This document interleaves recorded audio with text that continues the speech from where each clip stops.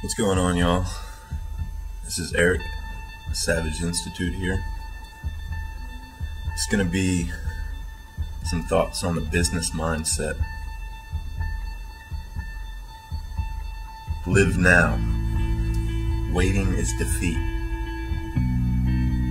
If you drag your ass for a minute, opportunity of a lifetime might have passed you by. Think your way out of the cage. Wage slavery is no way to live.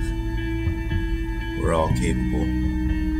If you're trapped with the notion that you can't make it, you're probably right.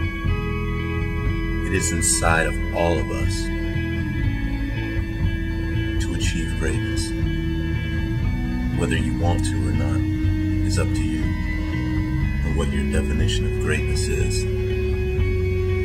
See, in this world, there are lions, and then there are antelopes. Who are you? I'm a motherfucking lion.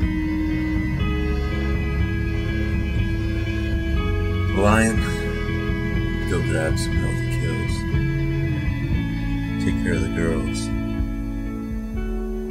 Because money is not evil. It's merely a unit of exchange. And in this world, you can do almost anything with money and a good lawyer.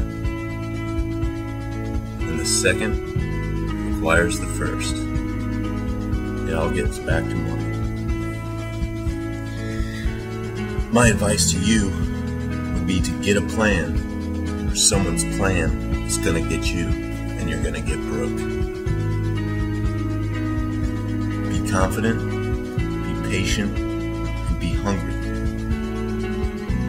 fucking idiot could succeed. You can too. If you simply know it's true. There is no I in team, but there's an I in business, and there's an I in America. Hell, there's even an Eric in America.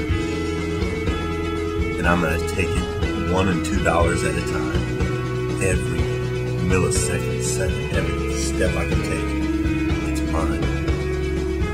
Why do I want to succeed? Because I know it's possible. Why will I succeed?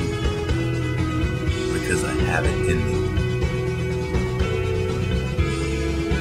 All the best to all my listeners. You guys have a great day. Go get it. Go get what's yours.